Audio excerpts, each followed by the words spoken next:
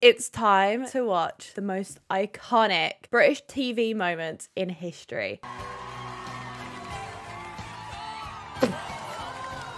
No, stop, no. I love Gemma Collins, right? I still don't know if it's fake or not, or if it's literally just her. But if it is, then she is absolutely iconic. Like, you can't dislike Gemma Collins. I'm here to enjoy myself, GC style. Do you know what I mean?